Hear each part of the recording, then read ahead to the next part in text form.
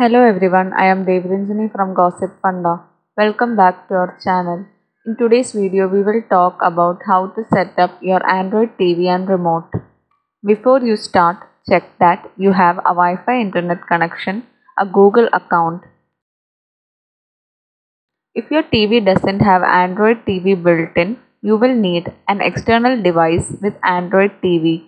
One TV or monitor that has HDMI ports and supports HDCP. One HDMI cable. Step 1. Connect your Android TV.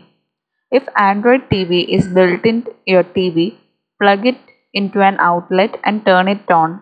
Then skip to step 2. If you have a separate Android TV device, you will need to connect it to your TV monitor. Turn off your TV or monitor. Connect your Android TV device to your TV or monitor with the HDMI cable.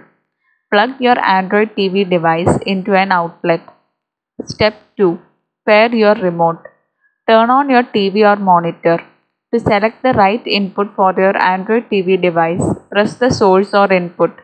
You should find an image of a TV, a remote and a timer. Follow the on-screen instructions to pair your remote. When the remote connects to the TV, a check mark appears on the screen. If it doesn't connect right away, try step 3 again. Step 3. Set up your Android TV. Set up with Quick Start.